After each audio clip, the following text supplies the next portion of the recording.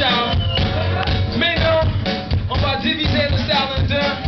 Et c'est cette côté-là, changer cette côté-là. Et eh là, on va voir who's really hype this motherfucker. On va commencer ici. I got Max Pinto, I got Gaga, Bertrand on the side. Who's that?